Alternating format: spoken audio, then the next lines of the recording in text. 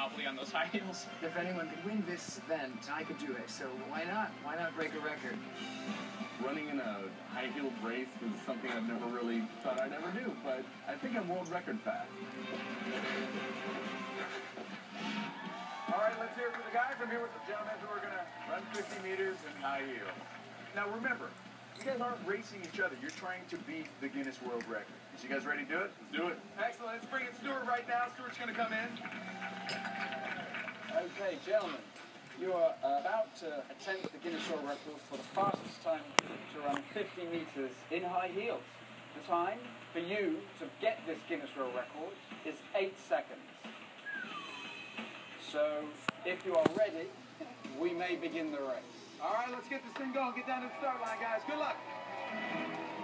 Liz, this has got to be a joke, right? I mean, this can't be a real Guinness World Record. Running at full speed, these men will be putting a lot of force on an unstable platform. This could mean trips, falls, sprained ankles, and broken legs. But it's going to be funny. All right, good luck, guys.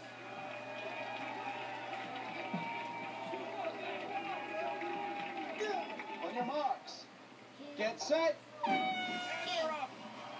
Jesse, out of nowhere, in Ashton yells, run, Forrest! Run, it's Jesse and Forrest! Oh, it's a photo finish! And it's coming across. And yes, there's Leroy coming across the end. Oh, you better work it, girl. Come on over here, fellas, come on. That was one heck of a race. Stuart has to go and look at it. We've got a photo finish happening here. Zach and Liz, what do you guys got for us? Let's see that slow-mo replay. Maybe you can figure something out for us.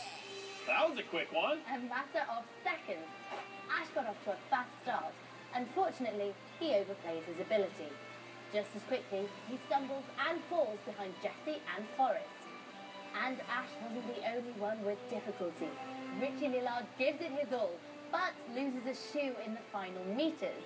And poor Leroy Patterson, he's happy to have made it without falling. Yeah, he's a real natural. Now, what about that photo finish? It may not be as close as it appears. You can see Jesse breaks the tape with his hands. Forrest's foot crosses the line first, and that's when Stuart stops the clock. Stuart, what do we have on our hands? Okay, gentlemen, you just attempted the Guinness World Record for the fastest time to run a 50 meter race in high heels. Uh, remind you once again the time to beat was 8 seconds. Okay?